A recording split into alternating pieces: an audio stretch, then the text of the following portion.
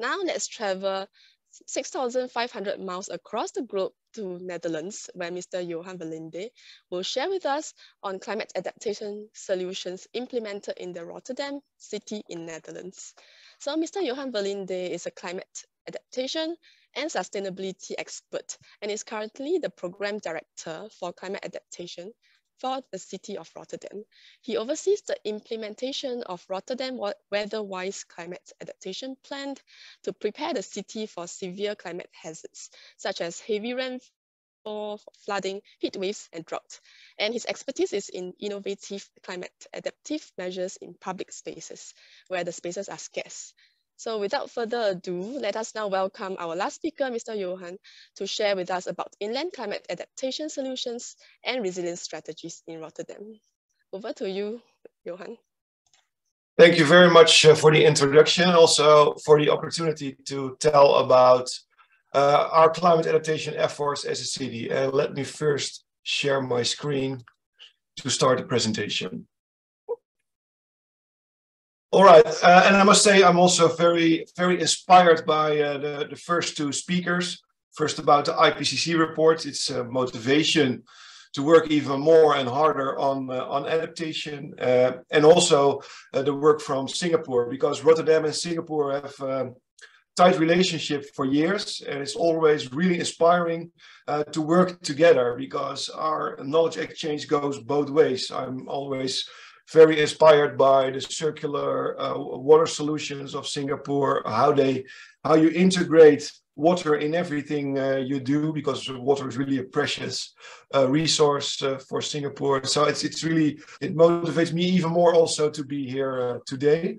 Uh, and today I'm going to tell you about our efforts on climate adaptation as a city. Our climate adaptation program is called Rotterdam Weatherwise. It started by the city of Rotterdam, but it's done in close collaboration with the water authorities, uh, drinking water company and social housing corporation, and even the citizens, because we need everyone in climate adaptation in our city. Um, just tell you a little bit about Rotterdam. Rotterdam is a delta city. So we have a river running through our city. We live next to the to, to the sea. Um, which is quite nice because it's nice to live next to the water. You can have a port, it's good for the economy, but it also brings some challenges. Getting back to the history of Rotterdam, I think Rotterdam and, and water is really in the DNA uh, of the city. Because in the 13th century, a dam was built in the river Rotte, hence the name Rotterdam. So our the name of the city actually originate from a from a civil engineering structure. So I'm, I'm a civil engineer, so I quite like that. But from the start uh, uh, of the city, it was already done with water in mind. Uh, looking on the picture on the right, in the in the 19th century, you see that Rotterdam already became a port city, but there was already also a canal system uh, there, which was used for navigation but also as the first sewage system, because with the tides, all the dirty water got out of the city. So the city was already designed with water in mind. But also from the start, we were already canalizing the water, making room for urbanization. And I think now we really see that it is becoming a problem, but we'll get to that later on. Um, just some more background on Rotterdam. Rotterdam is the second biggest city in the Netherlands. Of course, Amsterdam as a capital city being the biggest city um, uh, of the Netherlands, but we are a very small country. It's only a 45 minute train ride to Amsterdam. Um, and we are the port city. We used to be the biggest, biggest port in the world. Now we are the biggest port of Europe. And that triangle, that was the start of our city, that's now in the circle of this picture. And, and we moved all the way to the sea and also the port gradually moved towards the sea. So first the port was within the city city center, so to say, but big ships got bigger and bigger and bigger. They couldn't navigate the river anymore. So actually now the, the, the port is in the sea on reclaimed land. Um, and being a delta city, also we face water challenges from four sides. Um, so the river, um, well, the river that runs through the city is actually a combination of the river Rhine and the river Meuse, mostly Rhine River, but the river is called the New Meuse, which is quite uh, Uh, well, uh, not so clear. Uh, but when snow starts to melt in the Alps and we have a lot of rainfall upstream, eventually it runs through the city with high river levels every once in a while. If that's combined with western wind, we see parts of our city, the unembanked parts of our city, flood once, twice a year. And actually, with climate change, we see that happen more often and more frequently. Of course, the sea can be quite problematic uh, from our city, for our city, uh, because we are now expecting a 120 centimeter sea level rise by 2100. Uh, so that's what's quite a lot. But we have a big storm, storm surge barrier uh, near the sea. When that closes off, the city is totally protected from the influences of the sea at the moment. So with sea level rise, we know that that storm surge barrier is not sufficient anymore, and we have to think about other solutions. Well, groundwater that's really the invisible threat to our city. Um, we see that uh, with longer periods of drought, we see groundwater tables dropping in our city. Uh, and a lot of the houses in the neighborhoods surrounding the city center, those houses are built on wooden poles. And when groundwater table drops, those the foundation uh, becomes dry, it starts to rot, and the houses shift. So it's a real problem in the city. And as a homeowner, you are responsible to fix that. And it's an investment of around 70,000 US dollars. So it's quite problematic for a lot of people in the city. Uh, but the biggest threat, I think, at the moment is precipitation, heavy rainfall, because Rotterdam is already low lying, but it's also for 85% uh, below sea level. So everything that's brown on this picture is above sea level. And what you see is actually also the former port structure. So you see that it's brownish. So that's all plus three meters above mean sea level. And everything that's blue is below sea level. 85% of the city, most of the people live below sea level. Um, and uh, it's up to or minus 6.5 meters uh, 5.5 meters, still 6.5 meters below sea level. So almost the lowest part of the Netherlands. It's just uh, outside of the boundaries of the city center. Uh, but rainfall is a real problem. So we are very well protected from the river and the sea by all those dikes and storm surge barriers. But also the rainfall falls on the other side of the dike, of course. Um, we have quite a good drainage system. Um, on most parts, it's the combined sewage system, uh, and we have around 1,100 pumping stations to pump water to higher grounds and eventually to the wastewater treatment plant before it's discharged into the river. And I have to say, I just heard about uh, the mean annual rainfall in Singapore. In the Netherlands, it's around 850 millimeters a year, so it's a lot less compared to Singapore. Still, our sewage system is designed to cope with 20 millimeter an hour uh, rainfall events. And we see that there's a lot of those rain events are increasing, especially in summer, heavy rainfall in a short amount of time. And that's really becoming a threat to our city at the moment. Sewage system cannot cope with it. So we see water on the streets and eventually also uh, in the properties. Um, th this is a map uh, of our city. So we we did a did a did a modeling of of heavy rainfall in our city. We have a 3D 3D model of the city, also with the sewer system and the groundwater uh, in there, and we can just uh, let it rain and see where water flows through. And all those red dots are properties within the city that have a, a, a probability of flooding in, in case of heavy rainfall. And around 10% of the properties in the private properties in Rotterdam uh, have a risk of flooding. So that's quite a lot. And the thing is, I just mentioned that water is in the DNA of Rotterdam. And also, we used to be a water city. This is a picture of years ago. It really looks like Amsterdam. Uh, this is not Amsterdam, this is Rotterdam. And Rotterdam used to be a water city. Um, and if you think, if you if you know Rotterdam, uh, I don't think a lot of you have been there, but just to give you an idea, a lot of the main roads in Rotterdam end with the word singel. And singel is a Dutch word for canal. Well, I can tell you one thing on those singels, there's no water visible anymore because in the beginning of the 20th century, the car came to Rotterdam and our city council said, okay, let's transform Rotterdam from a water city into a car city.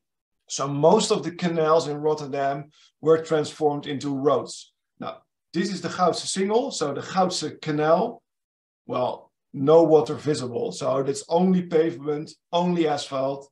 And on a lot of roads and streets in Rotterdam look like this. Well, this is this is not the best example, uh, but uh, because there are better looking streets, but they are they are paved. So water cannot go anywhere.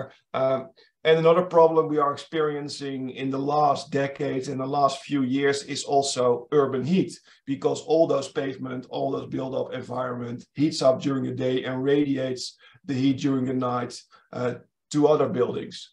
And that's the next threat, because we were always talking about water, water, water. We have to protect our city from water.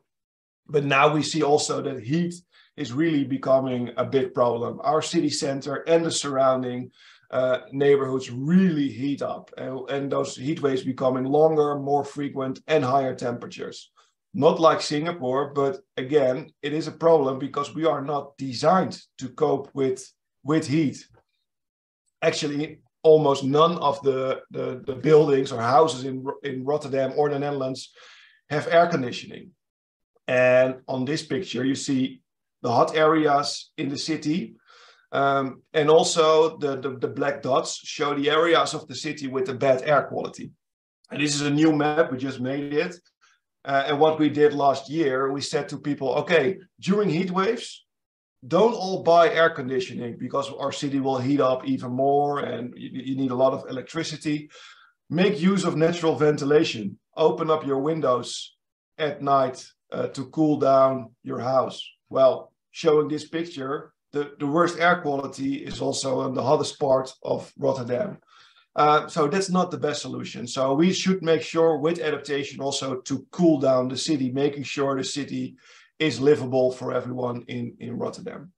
So we have to work towards an adaptive city. And I'm still uh, well, the, the, first presentation is still uh, rushing to my mind, but the thing I take away is that adaptation is still needed in order to make uh, cities in the world uh, livable.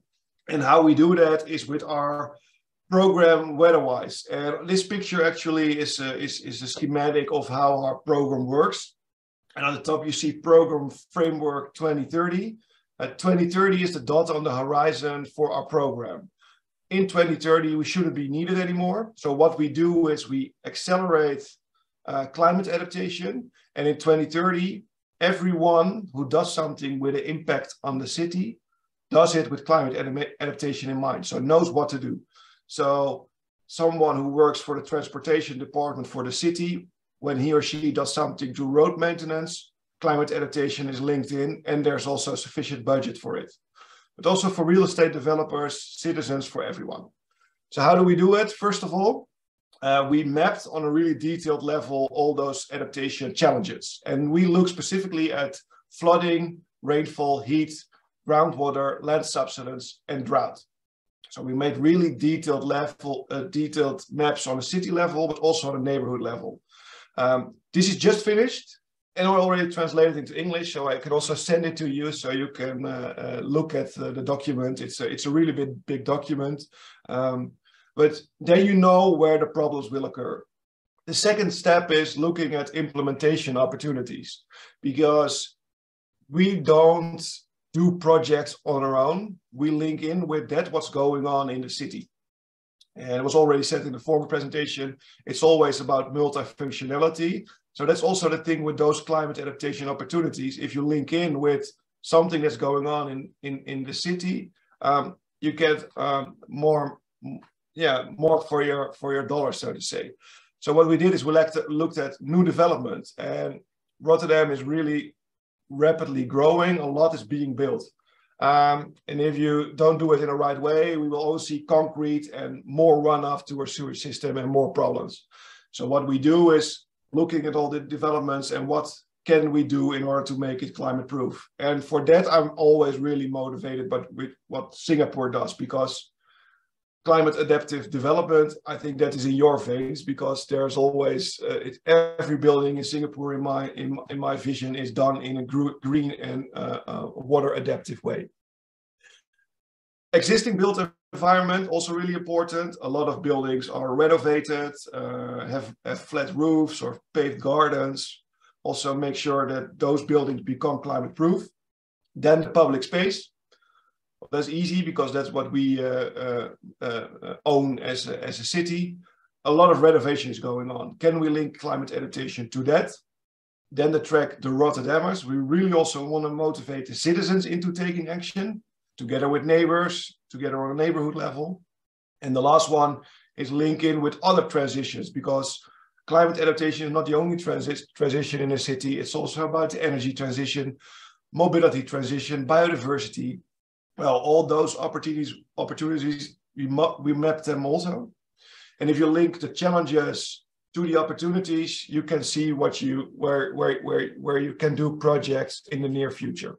So step one and two combined, make sure that we can do projects in, in the city. Uh, and below you see two implementation agendas. Those are based on the political term of our city council. Um, we are now in the implementation agenda of 2022-2026, uh, and our city council has a strong commitment on climate adaptation. Um, we now have a target to make sure that we build 50 climate adaptive projects before 2026 with a budget of 50, 50 million euros. So that's quite a lot. So let me show you some examples of climate adaptive measures um, um, that are already there. And they are all on different levels in the city. and this is, it is always about multifunctionality. Uh, and I think this is the biggest one uh, this used to be all grassland and farmland, and this is now actually a water storage. It's a water storage that's linked to the surface system, surface water system of the city center or uh, of the city. I already showed you that Rotterdam was transformed from a water city into a car city. So we don't have a lot of surface water in our city, which is quite problematic during heavy rainfall. Where can all the water go to? Um, you want to discharge it to your surface water system. So we look, looked at possible locations.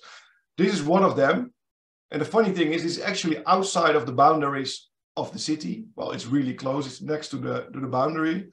Um, but this was the, the location when there was space for water storage. So over here, there's, there's added water storage of 4 million cubic meters of water.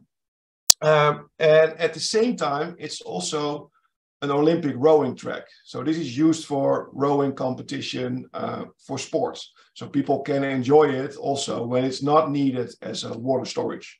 But this is one on a, on a big level. Then another one is, this is quite invisible. Um, and in the city center, we saw that we needed a lot of parking spaces because still Rotterdam is a car city. So we do also need a place for those cars to be parked. And in the city center, a parking garage was built. Uh, and we already saw, and this was done already 12 years ago, that in the city center we are experience a lot of water on the streets during heavy rainfall, combined sewage overflow. So we really need, needed to do something. So one clever colleague of mine, he said, okay, can we link, can we combine a parking garage with a water storage?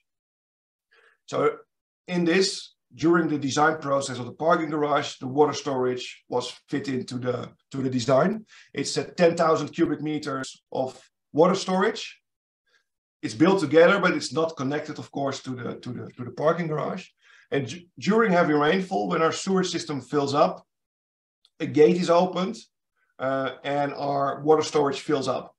It fills up within 30 minutes, so it's quite a lot of water in a, in a short amount of time.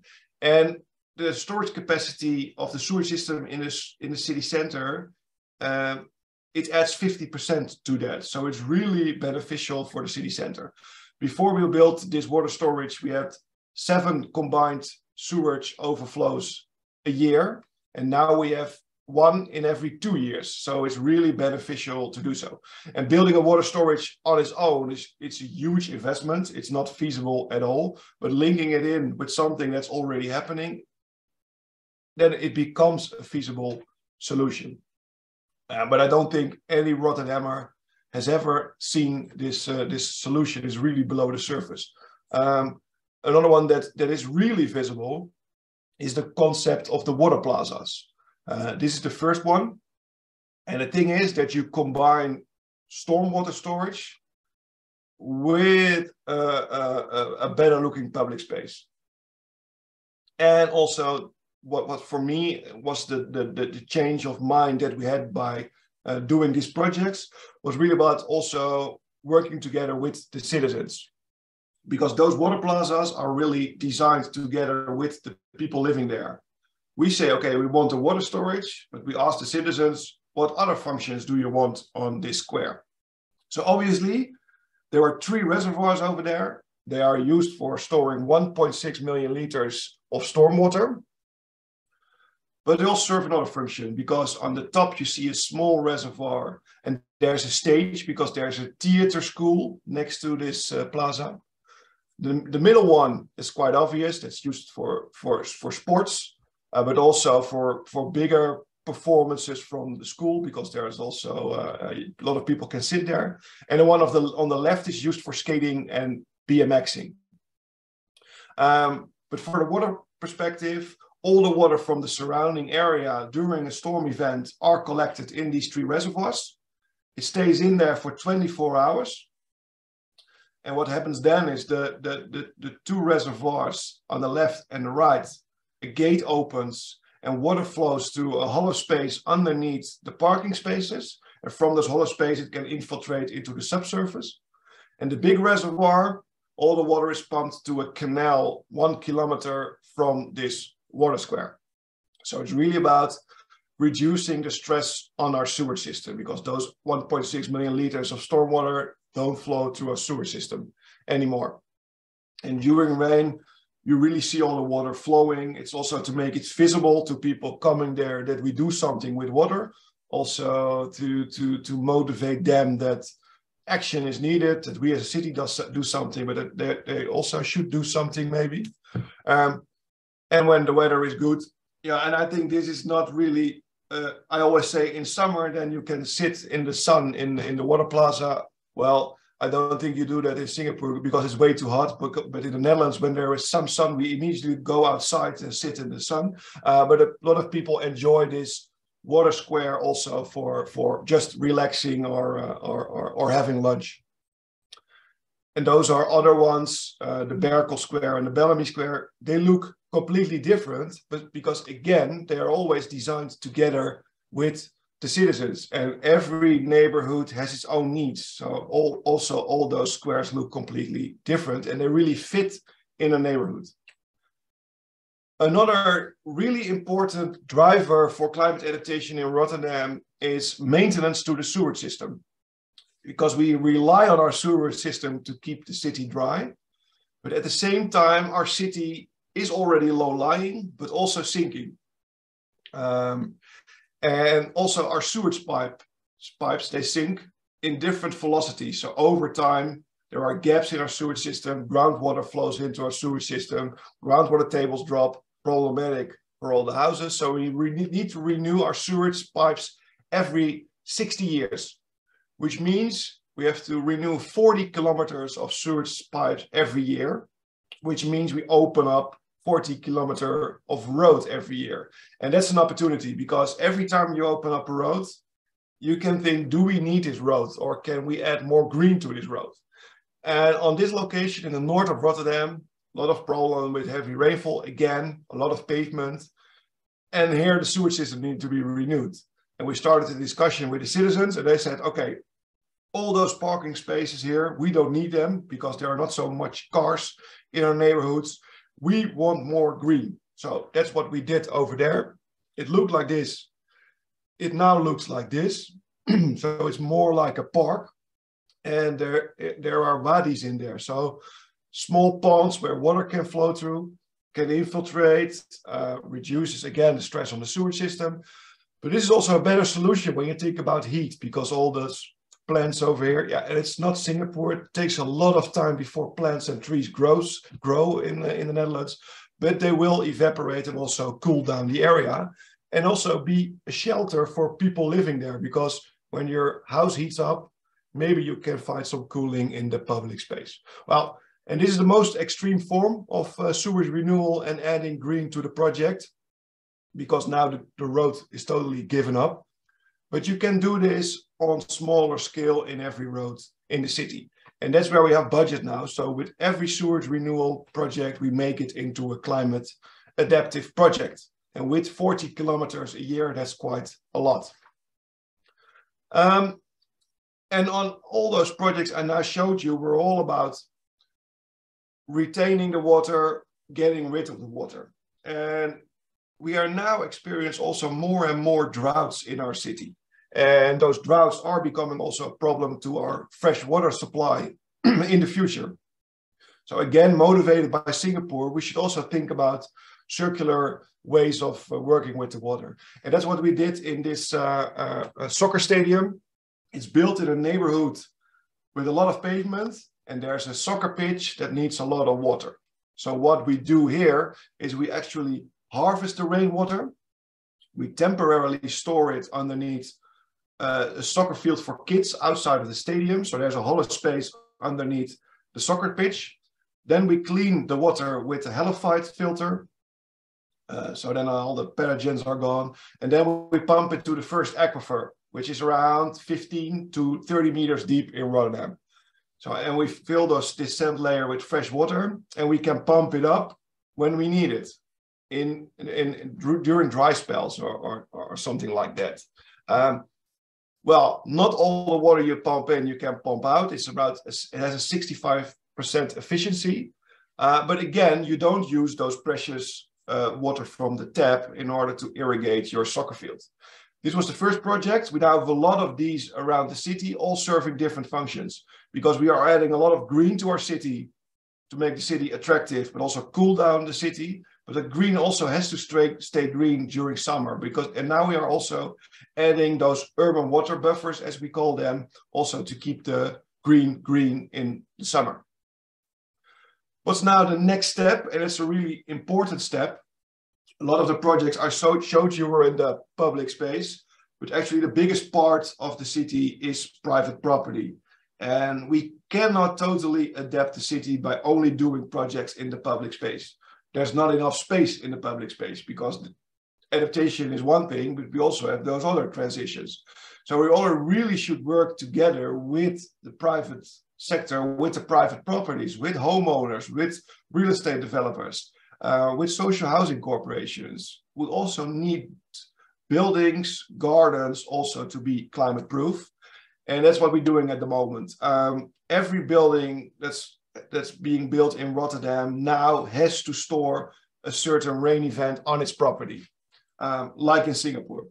You are not allowed to just build a concrete building, uh, and this is a this is this is still artist impression. It's being built at the moment, and what you see is that there's a lot of green. This green can can can act as a sponge to soak up the water. It evaporates, so it cools down the buildings. But at the same time, it's an attractive space where people can walk and relax. And those green spaces are actually on top of the roofs of those buildings. So in the future, we see more and more green developments in Rotterdam. There will also be a link between public space and private property. So we are really, this is like the Marina Bay of, uh, of Rotterdam. It's now still a port area. It's going to be transformed into a tidal park with a lot of room for, for water and green, but also that all those buildings that are being built around this water are also done in, in, in a climate proof way. And the last thing I want to emphasize that it's really important to work together with the citizens.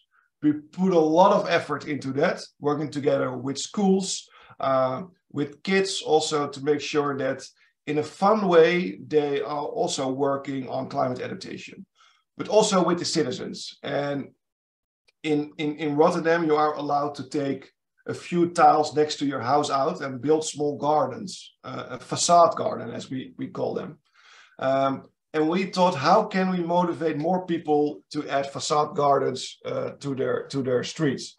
And we came up with the national championship tile popping. it was a battle. The first battle was in 2020 between Rotterdam and Amsterdam. Which city could take out the more, most tiles out of its garden or next to its house? It was really in a fun way. Um, first time it was only between Rotterdam and Amsterdam. The second year, 75 cities competed in the Netherlands, and last year 140 cities competed. So a lot of people are in a fun way making their streets more attractive by adding a little bit of green. But for a lot of people, it's also the first step in climate adaptation and doing more. So, so, so it's really about doing big projects on a large scale, but also really work together with the citizens, with the Rotterdammers in our case, also to motivate them. And working on, on all those skills, I think you you you can make your city climate proof. And this is my last slide. I'm also really proud of this, this book we wrote together, Rotterdam and Singapore, with the Center for Livable Cities about living with water. And in those book, you can read a lot more on our projects, but also on the governance structure and finance structure um, of climate adaptation in the Netherlands and Rotterdam specifically. So that's about it. Thank you.